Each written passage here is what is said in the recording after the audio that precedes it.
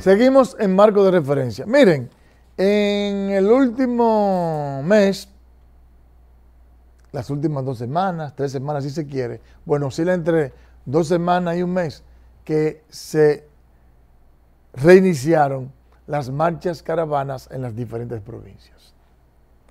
Pues los tres partidos, el PRM, a la cabeza de Luis Abinader, el PLD, a la cabeza Abel Martínez y la Fuerza del Pueblo, a la cabeza Leonel Fernández. Han estado en diferentes provincias haciendo actividades. Incluso hay fines de semana en el que van a dos y tres y cuatro provincias. Por ejemplo, en esta semana el presidente Leonel Fernández estuvo en toda la zona fronteriza y culminó con una marcha en la capital. Y lo propio hicieron eh, Abel Martínez y Luis Abinader. Bueno, se supone que la fuerza que exhibe la oposición, de manera particular el PLD y la Fuerza del Pueblo, lo está haciendo con su militancia, porque no hay cuarto. No hay cuarto para resolver a nadie. Lo que quiere decir que el que está ahí lo está haciendo porque cree en esos proyectos. También el gobierno, el PRM y Luis Abinader, en sus actividades políticas, están mostrando mucha fuerza. Sin embargo, el candidato a la vicepresidencia por el PRM, Joel Díaz, dijo que el Partido Revolucionario Moderno no tiene tal fuerza, la fuerza que presenta en las actividades, porque en realidad a cada actividad que se realizan vienen dirigentes en guaguas de otras provincias para abultar el evento. Vamos a ver la historia.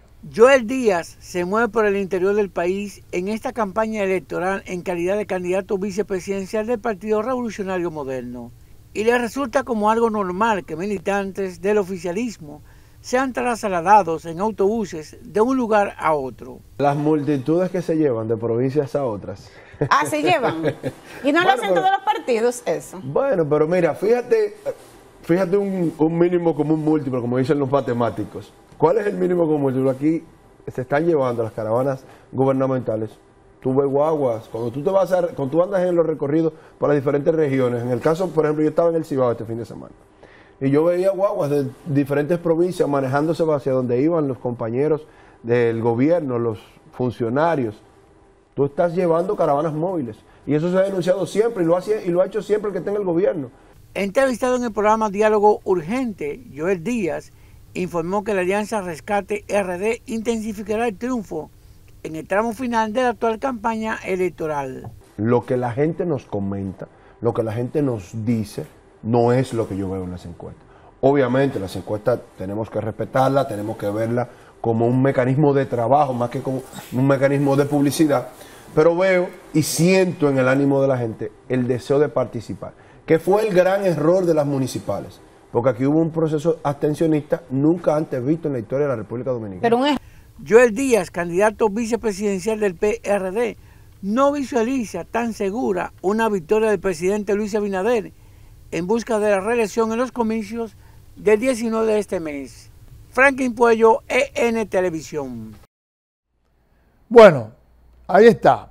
¿Es verdad, es mentira? Eh, la verdad es que yo no lo sé porque no he hecho ese experimento, pero sí sabemos que Joel Díaz, que hace un par de semanas, dos, tres semanas, que Miguel Vargas Maldonado, candidato a la presidencia del PRD, lo escogió a él como su vicepresidente, que por cierto es el único candidato hombre que escogió también un, vice, un candidato a la vicepresidencia hombre, porque hay otros candidatos a la vicepresidencia, pero es porque la candidata a la presidencia, como es el caso de Virginia Antares y el caso de María Teresa Cabrera, son mujeres y eligieron un hombre.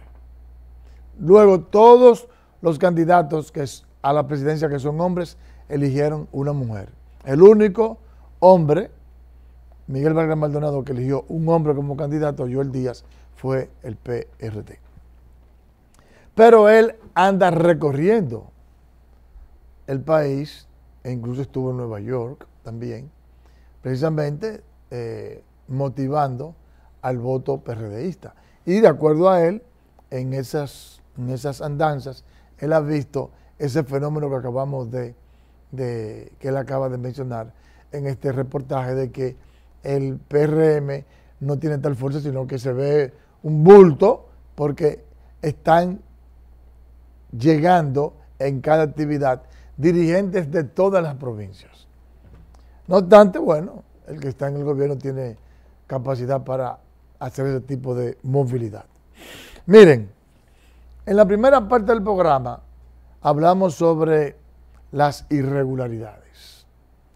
Pues José Horacio, que es el candidato a diputado por el partido Opción Democrática, ha dicho que se están conformando unos llamados guardianes de la democracia para evitar que todas las anomalías, los desabruptos, las violaciones que se cometieron en el pasado proceso de febrero se repitan este 19 de mayo. Veamos la historia. A una semana y días para la realización de los comicios, siguen las advertencias de la oposición de que enfrentaría posibles fraudes electorales de parte del gobierno. José Horacio Rodríguez, candidato a diputado por Opción Democrática, reveló que los guardianes de la democracia serán formados para vigilar todo el proceso electoral. Y nosotros tenemos prueba de que en febrero ocurrió. Hay muchas actas aquí en la circunscripción número uno del Instituto Nacional. Ayer me enseñaban una en, el, en Bellas Artes, donde de noche se ponen de acuerdo los delegados de los partidos para asignarle. Le hacen fraude a los partidos emergentes, a los partidos minoritarios como el mío, pero se hacen fraude entre ellos mismos. y nosotros tenemos actas donde se ven que de 13 candidatos a regidores, por ejemplo, que tenía un partido, todos los votos se le ponen solamente a un candidato. José Horacio Rodríguez dijo que eso tiene un solo nombre y es fraude. Y nosotros le hacemos un llamado a la Junta Central Electoral, que en aquellas mesas donde se pueda detectar eso, que es, que es muy notorio, ahí en Bellas Artes hay algunas, quienes fueron los miembros de esos colegios electorales por parte de la Junta Central Electoral no pueden repetir. Son cómplices de un fraude electoral. Porque cuando usted altera la voluntad popular expresada en una urna, usted es un autor de un fraude y eso tiene que ser sancionado. José Horacio Rodríguez dijo que en estas selecciones los guardianes de la democracia defenderán los votos de cada partido, no solo los de opción democrática. Bueno, pues la declaración de José Horacio, José Horacio es una réplica, una reiteración, una ratificación de lo que habían denunciado los partidos mayoritarios, o sea, el PRD, el PLD y la Fuerza del Pueblo. Y además está tomando, está el Partido Opción Democrática, está tomando las mismas medidas que ya anunciaron que van a tomar, que van a aplicar los partidos de oposición de lo que componen Alianza Rescate RD, para impedir que el compro de votos, el compro de personas y todas las anomalías que se verificaron se vuelvan a repetir para asegurar que haya equidad, democracia y que el que resulte ganador del proceso sea un ganador legal y legítimo. Nos, ven, nos vemos ahora, luego de la pausa, en una interesante entrevista que tenemos con José Manuel Jerez, miembro del Consejo Consultivo de la Fuerza del Pueblo.